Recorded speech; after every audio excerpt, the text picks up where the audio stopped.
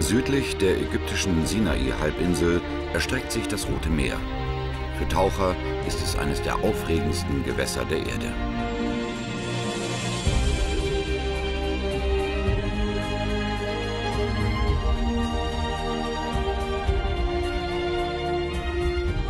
Beim Tauchen geht es nicht um spektakuläre Jagdszenen unter Wasser, auch nicht um den Nervenkitzel, wenn sich ein Hai nähert. Es ist wie ein Spaziergang in einem wunderschönen Garten.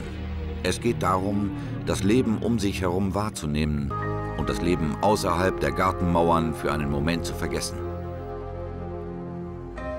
Diese Unterwasserwelt verfügt über eine Lebendigkeit und Kraft, die man in Worten und Bildern nicht beschreiben kann. Man kann sie nur persönlich erfahren.